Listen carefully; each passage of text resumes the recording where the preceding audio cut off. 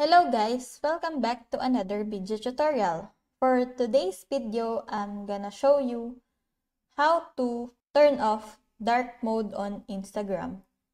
It's just pretty quick and simple, so let's go. So what you're gonna do first is, now you're already on your mobile device, access the Instagram app.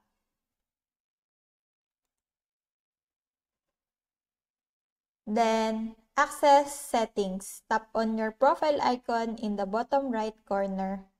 And then, go to your profile page. Then, look for the three horizontal lines, the hamburger menu, in the top right corner and tap on it.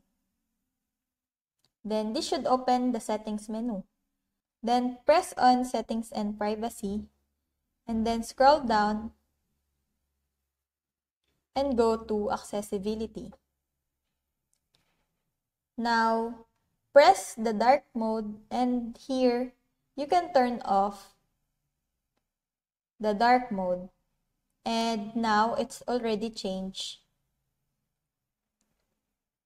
So it's just easy and that's how you turn off dark mode on Instagram. So that's it. I hope that you learned something and this video helps. And if you have any questions or comments, kindly put it in the comment section below and make sure to subscribe and like to our channel. Thanks!